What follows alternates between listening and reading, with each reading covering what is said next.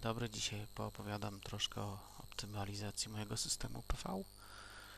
Tu widzimy y, rzut dachu, dwa szeregi, y, 8 paneli w, po zachodniej stronie dachu, 9 paneli po wschodniej stronie dachu. No ja zdecydowałem się na optymalizację selektywną, ponieważ ze względu na to, jak ten dach wygląda, część paneli jest zacieniona i chciałbym z, chciałem zminimalizować straty uzysku. Tutaj mamy ten, tą lukarnę, tak dosyć dużą, dodatkowo komin.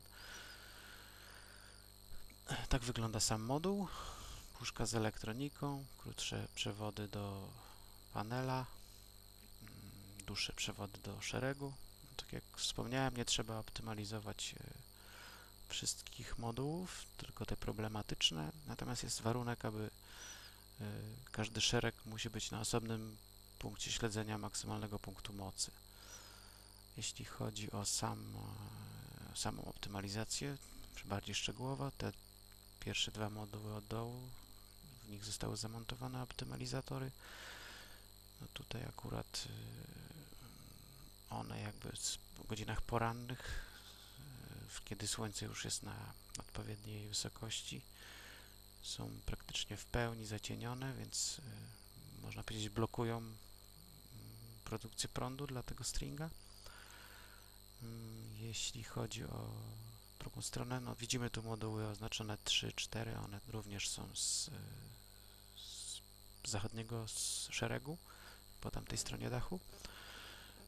One natomiast są optymalizowane w godzinach 13, 14 do 15 mniej więcej. A tutaj natomiast w drugi string 9 modułów, z których moduły 5, 6 i 7 są zacienione po godzinie 15.30, 16. Także wydajność tego szeregu też bez optymalizacji znacząco spadała. Widzimy wykres produkcji w funkcji czasu z dnia 2 maja. E, no, widzimy, jak to wyglądało. No, wykres ten będzie oczywiście różny od e, instalacji e, na płaskim dachu. Stąd też pomysł optymalizacji. Widzimy tutaj mniejsza wydajność rano. Ten łuk jest obcięty. Znacznie mniejsza wydajność po południu. No, po godzinie 15 to już praktycznie zupełnie spada, bo cień jest po obydwu stronach. A tak wygląda po optymalizacji. No, widzimy, zachodni string będzie potrzebował jeszcze jednego zabiegu, o którym później. Yy, natomiast yy, po południu właściwie nie sądzę, żeby dało się uzyskać cokolwiek więcej niż tutaj widzimy. Ten wykres już jest taki, jak powinien być.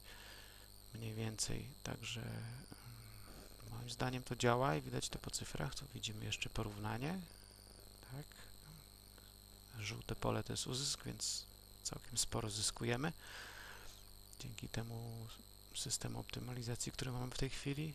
Natomiast jeśli chodzi o dodatkową operację, będę musiał do tego tutaj modułu wskazanego nad oknem dołożyć jeszcze jeden optymalizator, ponieważ no, tak do godziny 11 no, jest jeszcze na nim cień z komina.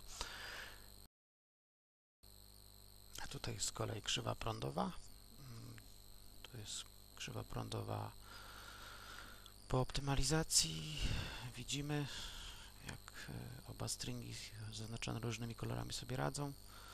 No nadal mamy nie do końca efektywny, efektywną pracę pierwszego szeregu do godziny 11. Natomiast jest już to lepiej niż było. Tutaj zyskujemy trochę, natomiast po południu y, no, zyskujemy bardzo dużo, ponieważ ten wykres już jest y, znacznie korzystniejszy dla nas. Ten, tego prądu produkuje się więcej. Tak jak widzimy na porównaniu. No, tak.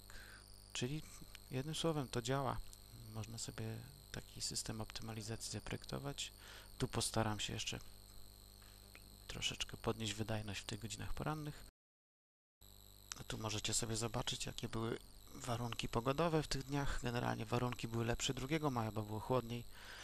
Mimo wszystko e, ten uzysk e, jest dużo wyższy. poró- porównując te dwa dni. Jeśli macie jakieś pytania, piszcie w komentarzach. Y, Zapraszam na kolejne klipy i do zobaczenia. Dziękuję.